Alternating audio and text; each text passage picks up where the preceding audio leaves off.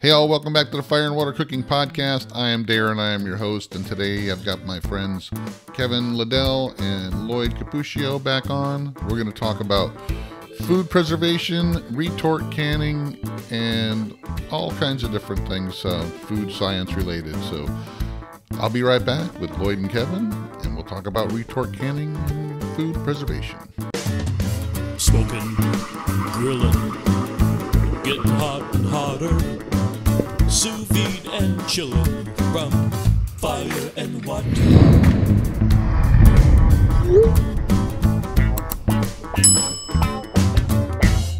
Hey, all, I want to introduce you to a company I just started working with, Fresh Jack's Organic Spices out of Jacksonville, Florida. They're a small, family run company that's fast growing. I've tried a bunch of their different seasoning blends and spices, and I can tell you they're all fresh, all organic. None of them contain artificial flavors or sweeteners. None of them have anti caking agents or preservatives. They all taste like they were just made for you yesterday. Check them out, guys. They're on Amazon in the link below. They have different sample packs, different blends. Like I said, they also have the individual seasonings and spices as well. Fresh Jack's Organic Spices. Check them out, guys. I love them. Well, thanks for joining us. We're back Fire and Water Cooking Podcast. It's been a while since I've done one of these. Had to take some time off, but I want to welcome back Lloyd Cupuccia and Kevin Liddell. They are my buddies. We're back to do a podcast and talk about just about everything today. I've had to take some time off to, uh, I started a new job and it's riding me ragged. Haven't had time to do a podcast lately. So I wanted to put one together with me and Lloyd and Kevin so we can just get back to talking about things we love to do. So welcome back, Lloyd. Darren, thank you for having me again on the podcast. I'm sorry, it's here. Jamie. I'm sorry, Jamie, not Lloyd. I'm using my wife's account. She's got a better account than I do. Gotcha. She's a teacher, so And, and welcome back, Kevin Liddell. He has got a haircut, so he's looking dapper. First haircut in 15 months. Good to be back. Yeah, it's starting to clear up. The COVID thing's starting to, you know, clear up some. Everybody's getting vaccinated, you know, except for me and Lloyd. But hey, you know, Kevin's vaccinated. That's all that matters. well, he's not wearing a mask, which is kind of nice. Well, we Well, kind of prefer of people- Kevin to wear masks. A lot, yeah. yeah, a lot of people disagree with that statement, Lloyd. Yeah. We wanted him to wear a mask before uh, COVID came. So Well, a, a hat would help right now with the reflection off the top of his head. You know, Yeah, I gotta. I definitely. need. I need some of that football blackout stuff they put under their eyes. yeah. I'm I'm gonna hat switch 'cause it to have- gallery view haircut. so we can they can see us all talking at the same time. I'm we like the a hat Brady 'cause I need a Bunch. All right, so let's let's talk a little bit. I got a couple topics we want to talk about. Um, you know, we've all been doing a little bit different things lately, and one of the things I'm starting to experiment with, and I think Lloyd was trying to as well, is retort canning. Um, when I started the vacuum sealer Facebook group, I've gotten a lot of interest and a lot more interest than I thought that I would get um, in chamber sealers and especially uh, retort canning and mylar uh, sealing. And those are kind of specialty items. And I really never looked into it much. Um, retort cans, if you're not familiar with them, if you go to the store and you see those little bags of tuna that you can buy on the shelf, they're like a little aluminum uh, bag. This is actually a metal flexible can. Um, they call these retort bags, and it's just like a like a regular can. It's got metal and plastic in it, and that's where you'll see a lot of you know tuna and chicken and soups and stuff in these cans. And um, a lot of people use these for um, prepping, you know, for MREs. Uh, uh, instead of using the glass jars, they'll use these, you know, to can with. And uh, so I'm actually going to start doing some of this. And there's not a lot of information out there uh, for people to look up on videos and stuff online. So I figured it would be something I can explore and and and try out and see if it works. I live in Florida where we got hurricanes every year and all kinds of storms. The power goes out for days on end sometimes. So, they, you know, my wife's always wanted to have a lot of stuff, you know, stored up in case of emergency. And this would just, you know, this type of canning actually, it makes it so you can actually have more um, product without worrying about them falling and breaking. You know, if you, this was in a glass jar and it, you know you had something happen, it fell off your shelf, it would smash and your food's gone. They also the glass jars take up a lot more room than than some of this stuff, so you can actually have more of these and you know uh, store them easier. So there's a lot of benefits to it. Like I said, I got a lot of questions about it, and I got a lot of people asking me um, how to do it or what different kinds of sealers do it. So, Lloyd, you kind of looked into it too. I know that you you were looking into your vacuum sealer if it can do it. And so far, it does not. I tried a bag or two, actually three bags.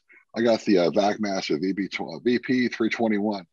The um, heat time, the max is three seconds. Initially, it looks like it's sealing, but after about 45 minutes, it comes undone. It creates a great vacuum, but it comes undone. I, I need I need Plan B. Like you suggested, I'm going to contact Back Master and see if I can get a, a different sealing bar. See if I can swap that out. So I have two sealing bars in my machine. You can buy external sealers. You can buy sealing bars that aren't built into so the machine I, as well. I saw that, and they're like 110 bucks. So what I could do, I thought, was seal it with the VP321. Creates a great vacuum. It's sealed. You have like 45 minutes before it pops open, then then seal it down with the other bar. That's that's an option I've been, been considering. Yeah, you just got to be careful with that. I know is that make sure that you get a, a, at least your initial seal doesn't let any of the air in, and then if you can, you know, take it right out and then hit it with that other sealer mm-hmm. bar and just make sure it's going to be it. But the VAC 100 that I like that I've used when I first um, got it, and um, when they first started selling them JVR, they didn't have a um, seal bar that would handle the retort bags. But they came out with one. The manufacturer that they get the VAC 100 from, they went to them and said, "Hey, we want a seal bar that will work for retort," because they were getting a lot of requests for it as well. And you know, so it's something that they don't have to produce a whole other machine for it. They just need to put a heavier duty seal bar. So this will fit in my VAC 100 I can take out the original seal bar and just place this one in and just up the uh, seal bar time or the sealing time. And they send you, when you buy one of these um, uh, bars, they send you the times for both oh, Mylar nice. and uh, retort uh, bags, and they tell you what the oh, cooling oh, wow. time is and the sealing time.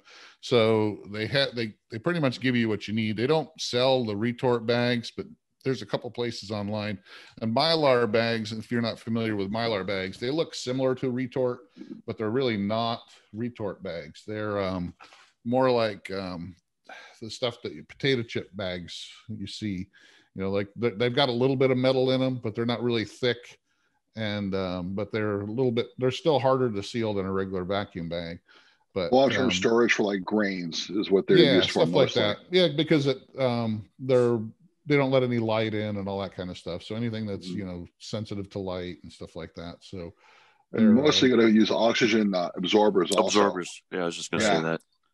Does a JVR 100 cost? How, what does a JVR 100 cost? 900. Seven, 799 if you use the code fire and water. Ooh, that's not bad. Have a whole yeah. separate machine. Wife would kill me.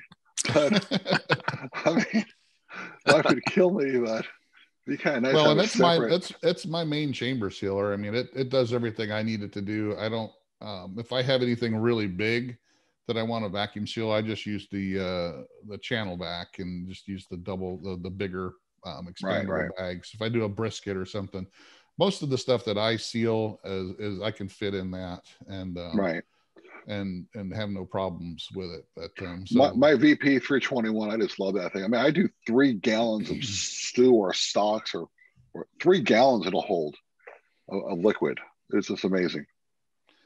So this, um, if you don't, have any, any of you, either of you guys done any canning, like regular canning with ball oh, jars oh, yeah. or anything like that? Okay. Yeah. So the, the, the process is very similar, except for um, you can use your, like I said, the vac, uh, the chamber vacuum if it has you know properly equipped to, to use the retort bags to vacuum seal all the air out then you put them in the pressure canner which uh, i went ahead and bought and All American i guess you got one of these too lloyd the all i have the i have the biggest one the 40, the 40 quart 41.5 but again yeah. i'm the only guy that can lift it darren you gotta start lifting weights you could have got a bigger one Yeah. So I have, these I have are. the, I have the 16 and a half quart.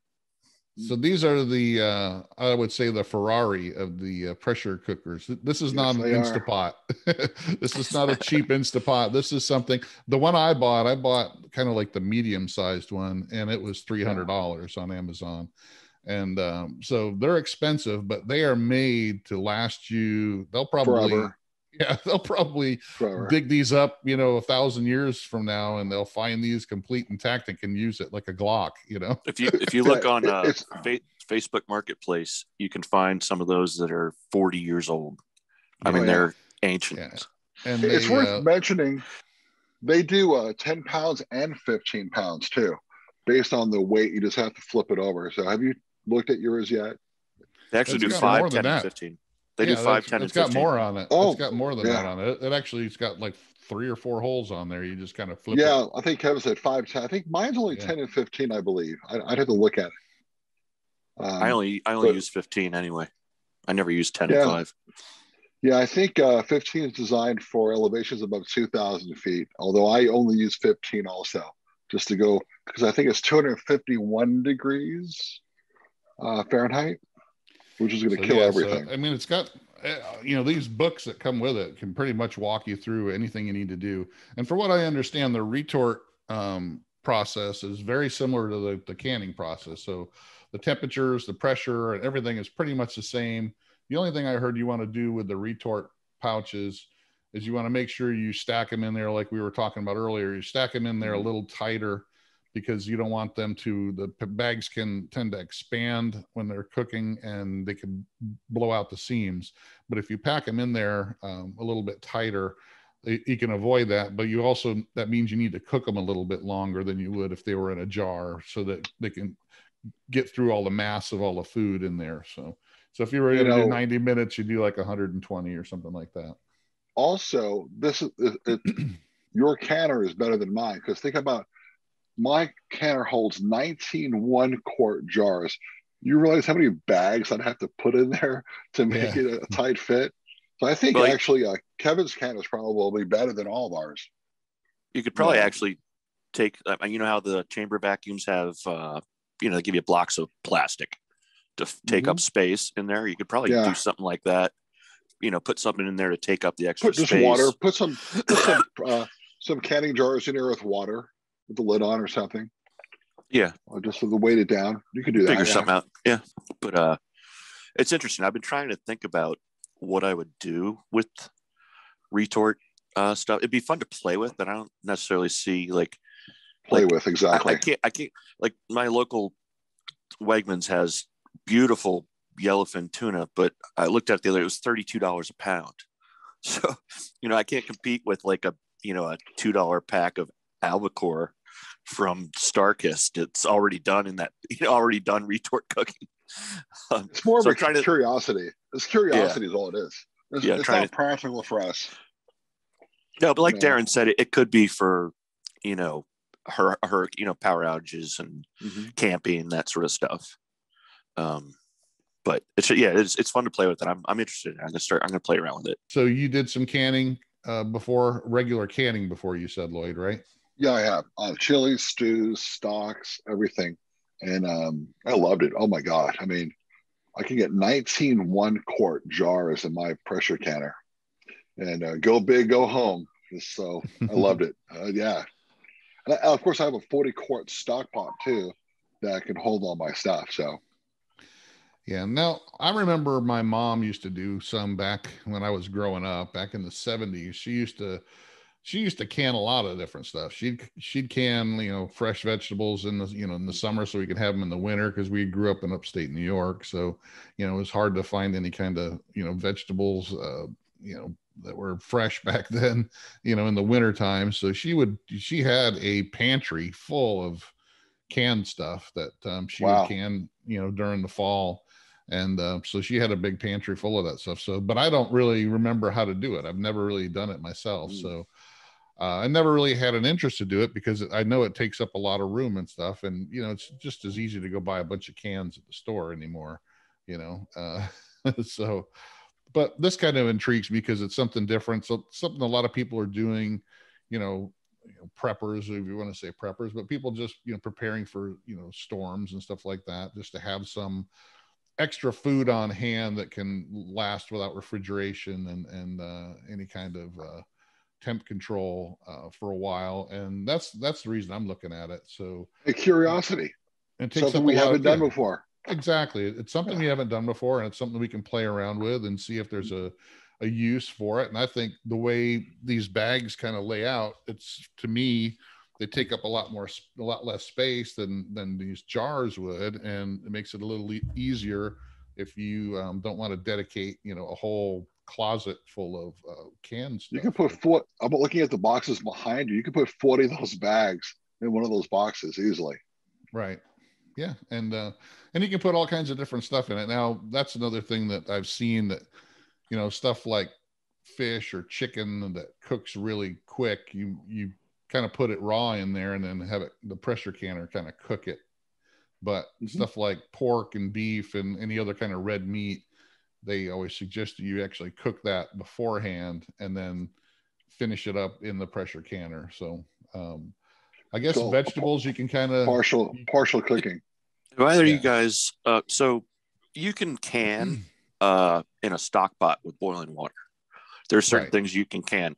You don't necessarily need a pressure cooker, but if you are doing low low has gotta be- acid foods, if you're doing low but the acid pH has foods, got to be below 4.6 though.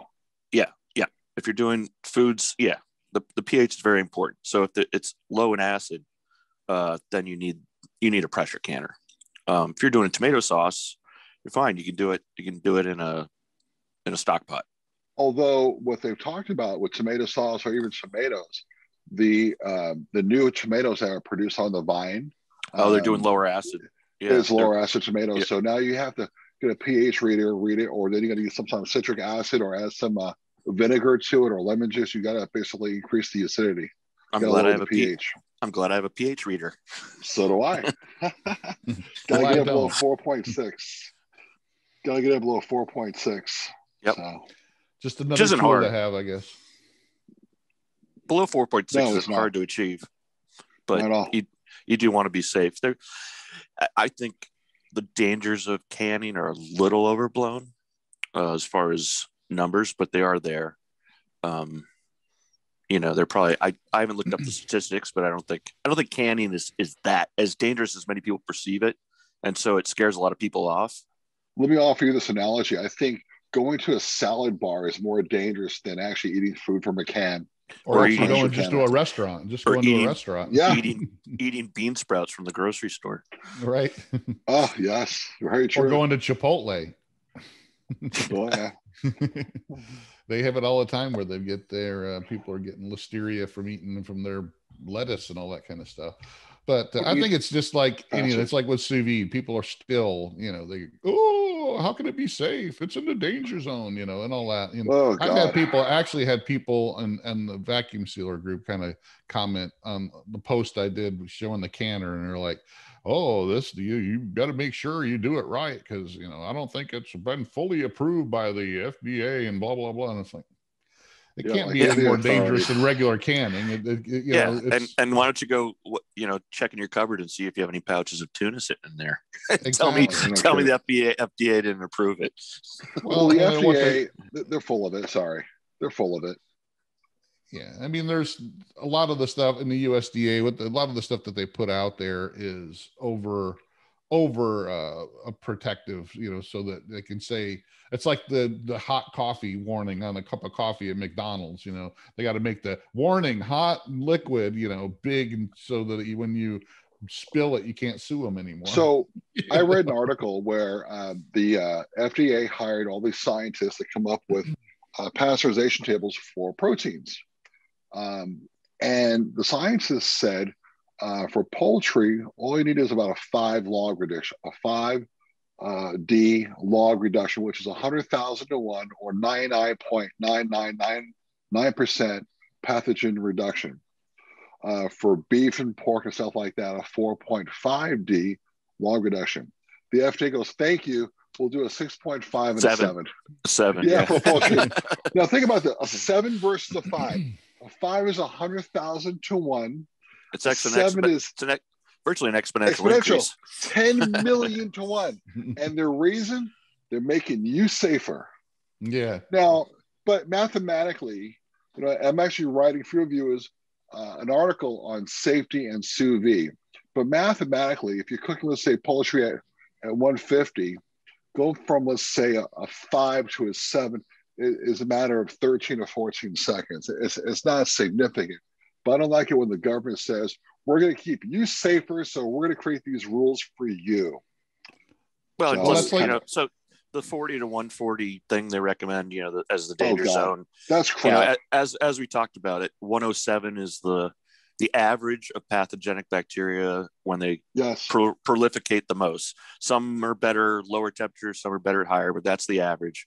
And so that you got four hours there. So if you're at 41 degrees, you know, which is in the danger zone, you, you probably have a few days. You have days for that food to be safe. You know, So to, to give you some uh, some math, right?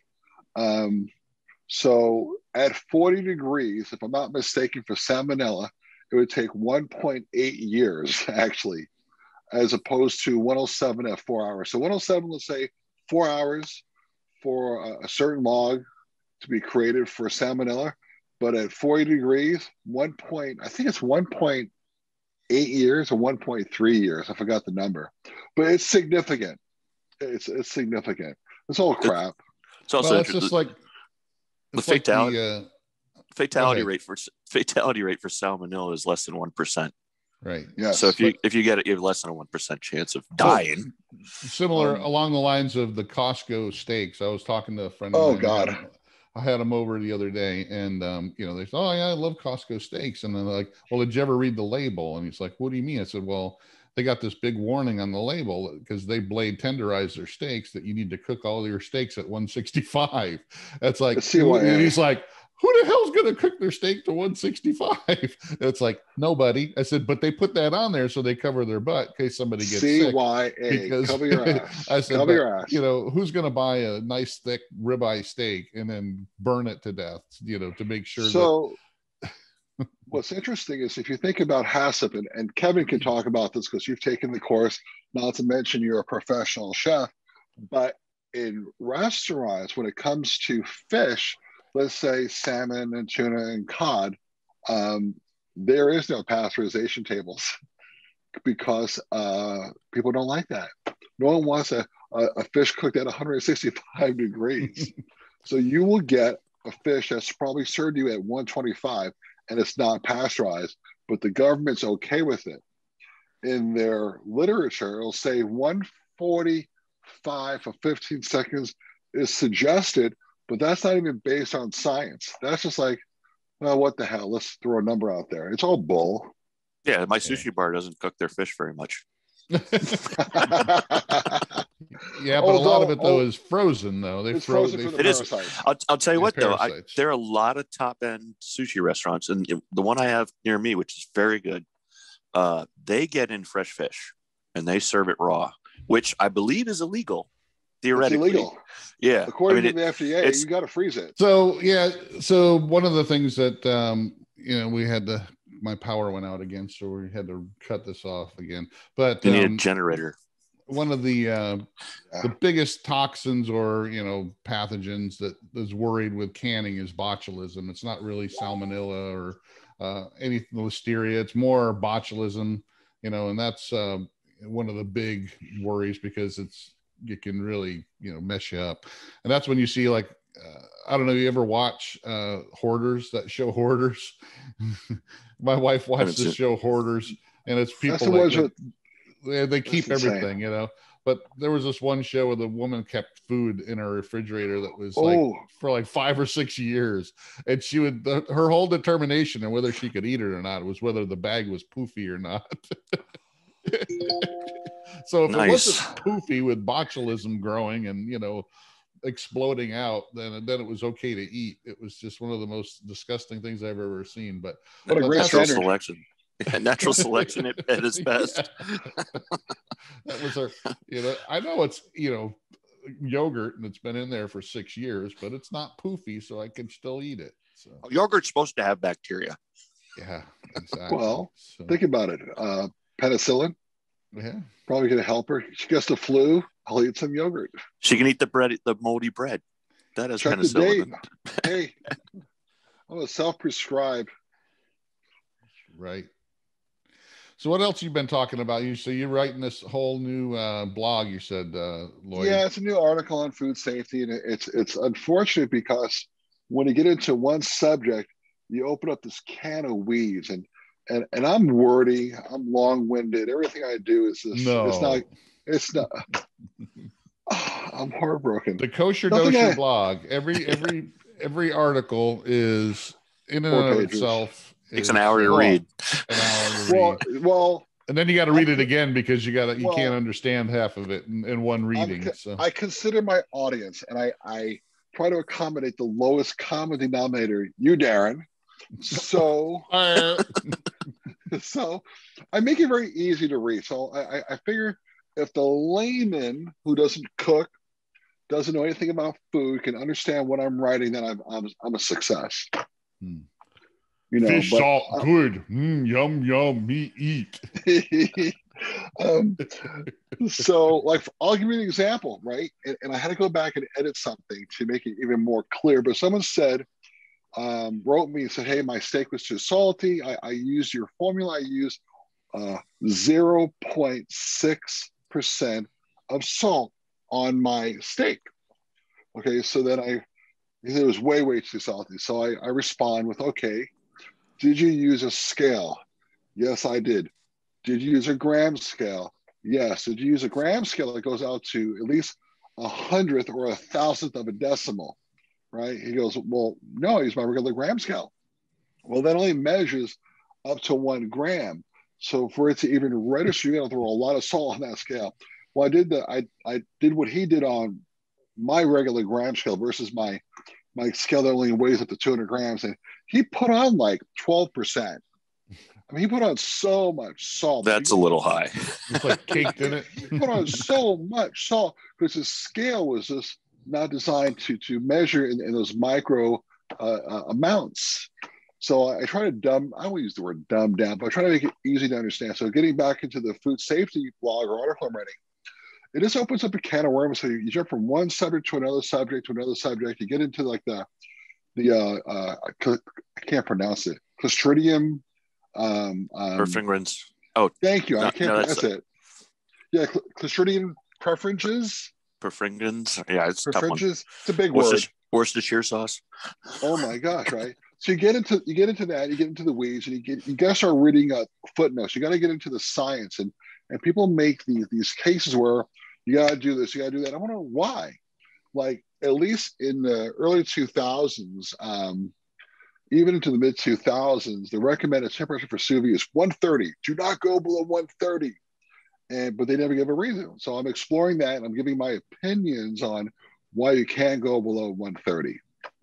And uh, a lot of my references, of course, is Modernist Cuisine, Baldwin, reading Baldwin's notes and bibliography and, and going to their references. If you actually get into their references, holy crap. Uh, it's it's it's mind mind uh, blowing. So One of the things that you know I was uh, impressed with with Baldwin when I had him on the podcast oh, was was a genius, God. he even said he he used 130 because he know he was writing this for everybody. You know, Yeah. people people that are deep into it like him and us, you know, we understand the science behind it, and we un- understand that we can go lower if certain criteria, you know, are doing it a certain way. But Well, is wrote- machine he calibrated? wrote it- for example, yeah, yeah. If, if he wrote it for every the everyman, and kind of what Absolutely. the USDA does and everything else is, they absolutely. they do it over you know overly done so that they can make sure that Well- somebody can say you know well i did 120 you know like every once in a while in the facebook group somebody will Oh, those are up, they're idiots. i did 120 degrees for 24 hours it's like what the hell are you doing or how about the guy does he does a three inch ribeye, does 120 for two hours and says it came out terrible. Yeah Yeah, yeah. I I I decided don't I what don't, like, happened. I don't like steak done sous vide. Oh my Yeah. god. oh yeah there's plenty of people like that i did But, it you know, once and i i did it wrong and Right. it's Oh my god. not god. my fault So, so Dr. Baldwin, Dr. Baldwin, the doctor now, um, is so thorough. So people quote Dr. Baldwin. they're actually not really quoting him. They'll take like a sentence. But if you go back and read his stuff, he, he's very, very thorough. But people fail to read all of his stuff.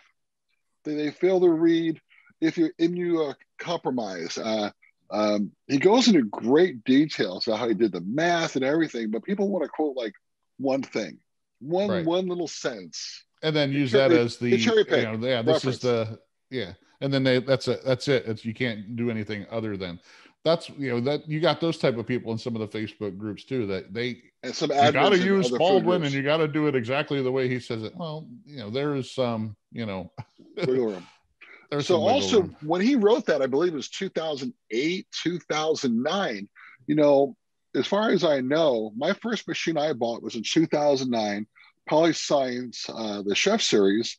Uh, other than that I'm, I'm trying to think what was available uh, back then other than you know our crock pots with a pid controller let's be honest that's not accurate so yeah maybe 130 might have been really really good when using a pid controller because i know what i did i don't know about kevin what I did didn't taste very good. It was hit and miss. And as far as being safe, uh, I don't know. Mhm. Um, so 130 might have been appropriate back in 2008, 2009, because um, machines were not available. Now, of course, all and they the weren't as accurate Not, yeah that, no, not at all. yeah so The okay so let's, Hydro let's the Hydro Pro, for example, you can calibrate that. all right well let's get back to uh, food prepping a little bit and uh Ooh, I love food prepping. I do big Um, stuff. You know, have that. you guys ever done uh, f- freeze drying? I've I've uh, I actually Oh, just watched a God. video today. of A buddy of mine who um, Would, would love has a to. YouTube channel who I I uh, uh, followed for a long time. I had him on my pod. He's one of the first guys I had on my podcast. It's called Ballistic. Bar- Barbecue. He's got a dehydrate or a freeze dryer. and he been does a looking lot at of one for a prepping. while. He The does a cheapest lot of one's like prepping. five thousand. Cheap, Yeah. cheapest one's like five thousand dollars. He didn't say can how get- much his was, but he had one of those. It looks kind of like a dryer, you know, thing. You can and get 'em- uh, You can get them under three thousand dollars. Really? Yeah, For me, it's all I'll s- about room. I'll send you a link. They make different models, but the smallest model is under three thousand. I believe. I think it's You like can't twenty eight Do a lot. You can't do a lot, but I, I. Now, tell me what's your opinion. Do you think the freeze dry would be better than retort? I don't know because the thing I like more about the retort is I can cook the food, put it in the retort, and then just eat it like that. I don't have to, you know, Rehydrate. rehydrate it or Right, anything right. like that. That's true. They Or both have know, I can eat it. I don't have to heat it up if I don't want to. I can just eat it right out of the package. If it's So- if it's freeze dried, you know, you could probably eat it, but it's like eating styrofoam. You know, it's is. like So it's not going to be good. It's not like a jerky. It's more like literally right, right. styrofoam. It's freeze. It's freeze Ask- dried. Astronaut ice cream was the big Yeah. thing that Well, Yeah. I got to tell you, I was up at ChefSteps, you know, for a tour, and I was talking to all the guys, Grant and all, and who's the other guy? That's an amazing person. Anyway, he made ice cream that was freeze dried. Oh dear God, it was amazing. Just eating freeze dried ice cream was wow. It was an experience. It was an experience. But yeah, I I, mean, know- I, like, I don't think I want to spend the money on something like that. I mean, with doing uh, freeze drying, you know, I don't think I'm that hardcore of a prepper. It's not for me. It's not about preparation. It's much. I've never done it before. What the hell? It would just be cool to do if I had the freaking room. If you had like a huge garden, uh, I could see that being something that you might want to do. Uh, just because, as far as the amount of weight reduction and space that you could save, uh, as opposed to canning everything, would be impressive. Uh, I believe they work through sublimation. Uh, they use a oil vacuum pump, and they create a bit of a vacuum, and they freeze it, and then they slowly bring it back up temperature. The water sublimates out of the product, and that's what creates the freeze drying and removes all the water. Um, but it's pretty neat. I mean, I, I've thought about, you know, I've looked at them for a while. Like I said, I told you there was one you could get for like 2,800 and I think it probably goes up to like 4,000 for their biggest model, uh, for a home use one. But, you know, that's pretty expensive, you know, for something I'm not sure. Like, I don't have a huge garden or anything. So I don't know if there's any really, I, if I really, you know, I'm not, It's a not prepper. practical. I'm not, It's a looking- gee whiz. It's a gee Right. whiz thing. Yeah, well, Yeah. like with this retort, the retort thing, I already have the the chamber sealer, and this actually they sent this to me to do some videos with it, but it's fifty bucks. So eh, you know, a regular person, they if I spent you know, seven hundred dollars on my chamber sealer. I spend another fifty for a specialized, you know, seal bar, and Right, then I right. spend the money on the pouches. You do have to get the pressure canner, but you don't have to get the three hundred dollar pressure canner like I did. You can get cheaper ones out there for a hundred bucks, and you know you can use that for other things as well. So you can get Yeah. into it under you know a couple hundred bucks pretty easy. You know, whereas freeze dryer, you know, I'm not going to spend even three grand on something that it's more of a toy to play around with to see. I'm not going to sit here and freeze dry everything, you know, and just you know, hey, look, toys are what's a- cool. Toy toys are. Cool. I have a I have a cheap dehydrator that I can use to dehydrate stuff, but um, you know, that's I got a not com- I have a commercial one. I have a commercial one. Of course you do, Lloyd. So so so we we all have an all American canner, which, like we said, is the Ferrari Yeah. of canners. But uh, for a relatively moderate price, Presto, I think, is probably the Yeah, the Prestos the I think are like a hundred bucks, 50, uh, Yeah. 70 to 80, 100 bucks. I was But looking at good. those and um, I was going to get one of those, but I said, you know what? I might as well. What if I, what if I was Lloyd? What would I get? well one of the, the bigger things- one. one of the benefits one of the benefits of the all American is it doesn't have a gasket. Like the press, all the other ones have Right. gaskets. So what kind of dehydrating have you done? You guys jerky and all that kind of Oh, stuff? Oh God, I've done it all. Stuff? Yeah. done everything. You name it, I've done it. I've done fruits and and, and uh, garlic, black garlic. Take it to the black garlic stage, and then put it in the dehydrator for a long freaking time. It takes a long time, and uh, don't do it in your house. No, black garlics. Yeah, that's you got to leave that out. I did smell, I did the it. I did smell it. is I- ridiculous. Well, initially it's kind of cool because it's like a pizzeria. Then all of a sudden it's like it's not a pizzeria. It's like It changes. it's it, oh god, it does. It's not a good so, uh, smell. Now I have the Excalibur uh, NSF all stainless steel 10 tray dehydrator, and I've done just about everything in there from fruit juices to apples to jerky, of course. Um, um, I've just done everything, and it's it's great. Banana chips, of course. Now that Uh, kind of lots stuff. of black garlic. that that's kind Um, of stuff you can actually use in your mylar type bags and so you do a bunch of fruit and dehydrate it Yeah, absolutely. use your mylar bags to vacuum seal all the air out you wouldn't need any oxygen eaters in it Right. um because you would just be able to vacuum seal it in a mylar bag and then store it on the shelf you know You for a know, long since period of time as well It's worth mentioning also that, you know, if, if you get into dehydration or jerky, my dog's in here, um, there's a lot of rules and how to reduce pathogen proliferation, blah, blah, blah. Do it in 160, 10 minutes, acid. Um, but what you can do if you wanted to is after you make your jerky, if you were going to serve this or give it to a person who has a compromised immune system, you can actually sous vide the jerky to pasteurize it after the fact.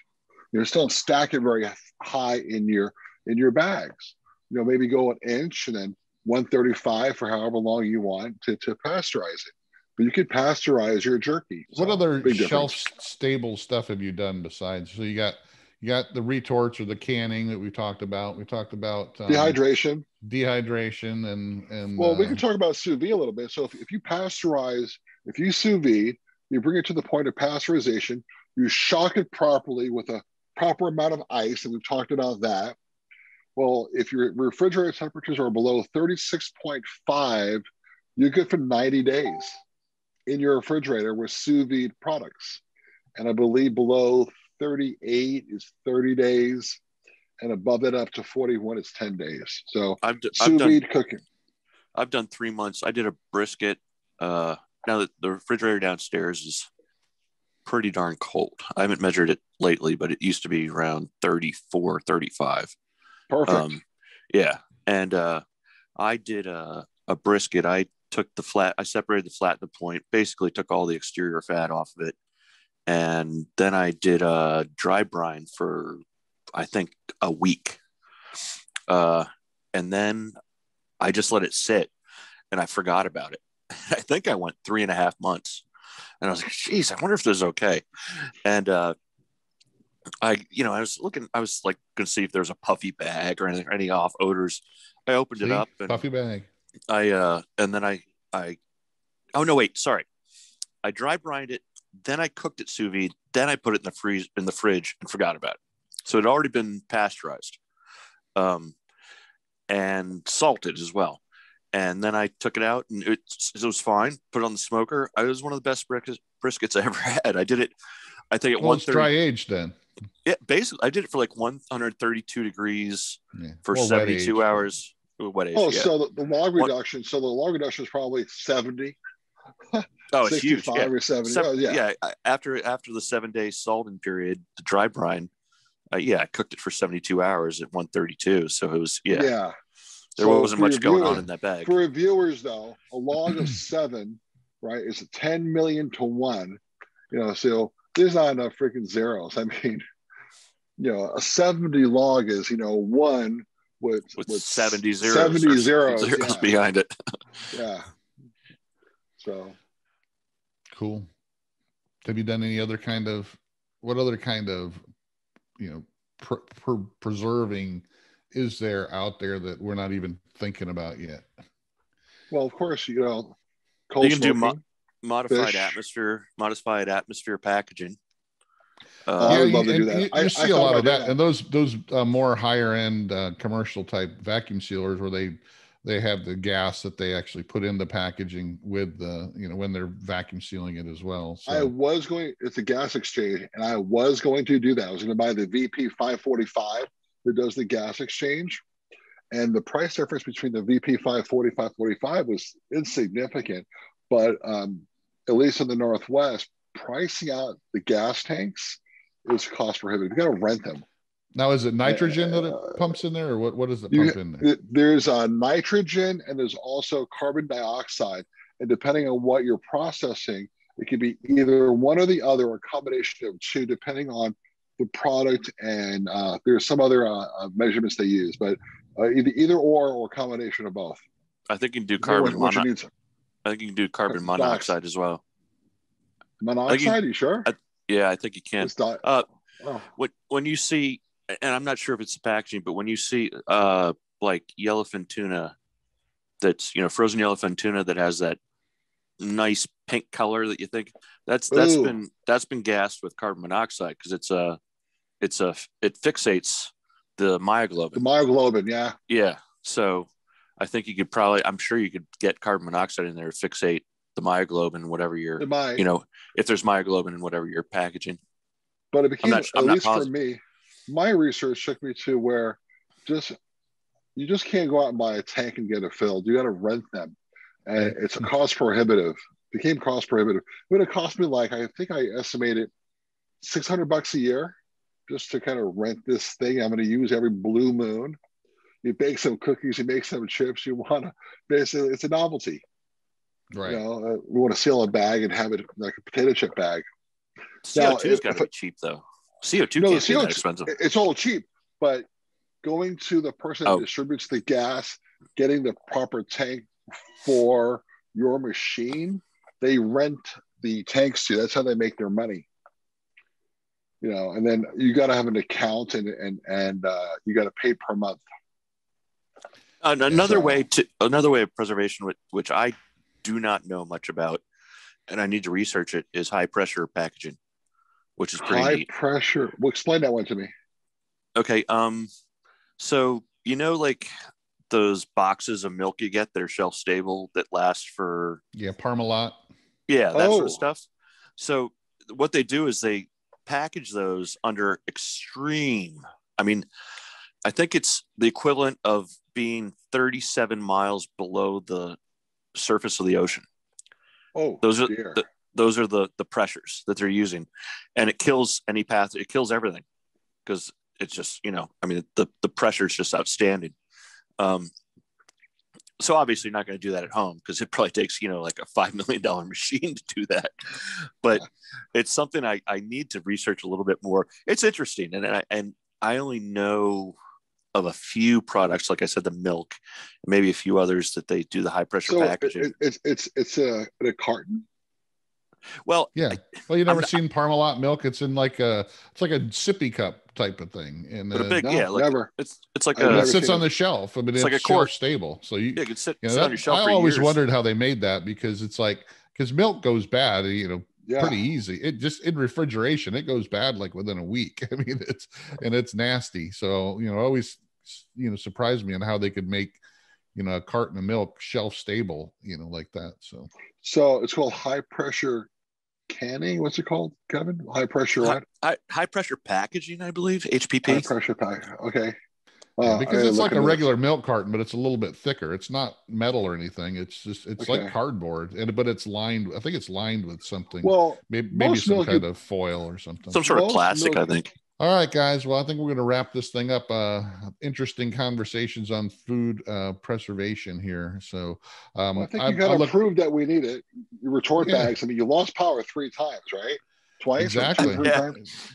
I lost Gosh. power, so you know, you know, I got a lot of food in there. I'm going to start probably everything in my freezer. I'm just going to cook it up and retort it and have it stored in my closet from now on. So just in case. But you know it's fun things to play around with. I think um, it's going to be interesting to see the different kinds of you know things you can actually you know do with it. Um, i'm interested to see how much you know people actually watch the videos and stuff because like i said i was really surprised and i didn't know much about it you know when, when i started the facebook group. Well thanks for joining me guys. It was really interesting talking about food preservation. Hopefully we can uh maybe we'll talk about grilling and smoking next time since Ooh, it's uh, the summertime so and Lloyd's got to get rid of some of his uh, stuff so he can get new stuff. So, or his Oh. wife won't talk to him anymore. But thanks for joining me. Thanks for Lloyd, the kosher dosher. Make sure you check out the kosher dosher blog. He's got a new new uh, post. He says he's going to be coming out with soon with uh, pasteurization and food safety. Safety. Uh, it's going to be great. And Kevin, just keep looking for Kevin. Every once in a while, he'll get uh, in Facebook jail, and it's always fun to, uh, you know, not talk to Kevin on Facebook for a while, but then he comes back and we can make fun of him. So thanks for joining us, Kevin. Check out Sous Vide Food and Fun on Facebook. So yeah, check out Sous Vide Food and Fun. You'll find all three of us on there, and check out everything else. Fire and Water Cooking. I'll see you again on the next Fire and Water Cooking podcast. Thanks for joining us, guys. bye, guys. Bye. See ya. Bye. Well, thanks for joining us, guys. Hope you got some good information out of that. Make sure you follow the Fire and Water Cooking podcast, and make sure you follow the Fire and Water Cooking Facebook group and page. And I'll see you again on the next Fire and Water Cooking podcast.